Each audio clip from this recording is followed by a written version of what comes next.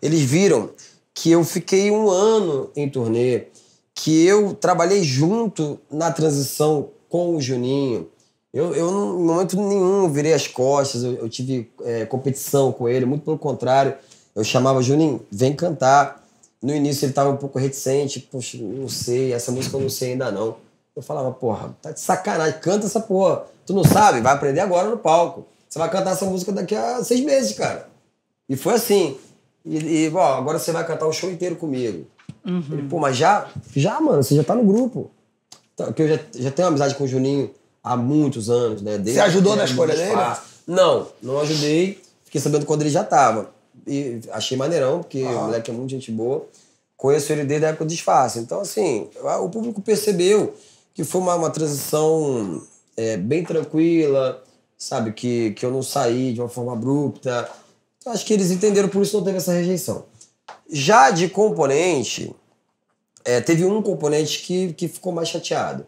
Depois que eu saí. Quem foi? Esse? Até é, o Marquinhos. Marquinhos. É. Até eu sair, até o dia 31 de dezembro de 2018, uhum. tava tudo bem, sabe? Assim, depois do, do dia 1 de 2019, quando saí de fato, é, a gente se afastou um pouco, porque cada um foi fazer o seu DVD, uhum. o seu trabalho e tudo mais.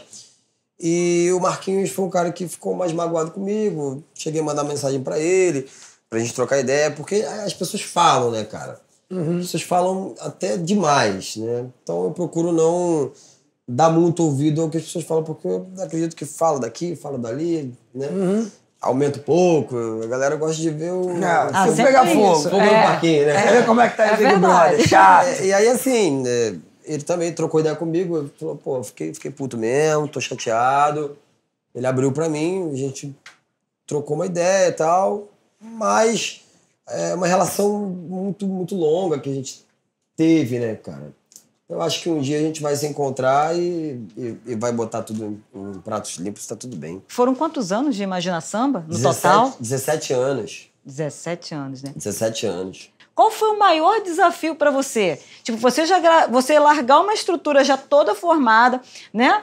Com fã, com tudo, com público e tal, e você começar assim do zero mesmo. Não, agora vai ser Suel. Então, eu sou um cara que para você me motivar, você tem que duvidar de mim. Você tem que duvidar da minha capacidade. Aí, aí eu vou ficar motivado. Se você não duvidar de mim, você me deixar numa posição muito confortável, eu não funciono. Uhum. Aí eu, eu fico confortável mesmo, né? demais eu não funciono. Então eu funciono na pressão. É, então eu adoro desafios, né?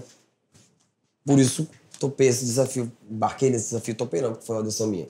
É, embarquei nesse desafio. Uhum. Porém, a minha maior dificuldade foi exatamente entender que eu estava recomeçando. Não do zero, né? Porque já tinha construído uma história junto com Imagina, mas eu tive que dar alguns passos para trás. É... Meu cachê era, era bem diferente do Imagina. É, alguns mas lugares... também era para um, né? Não, sim. Não, é, não, não, sim, mas só questão de cachê também. É. Aí era para um, né? Eu não tô falando nem, nem, nem do que vinha para mim, assim, pro meu bolso. Era com relação à estrutura que eu tinha, por exemplo. É, o nível de contratante, assim, é, de local, de fazer show, rua, de som. Uma equipe muito pequena, extremamente pequena.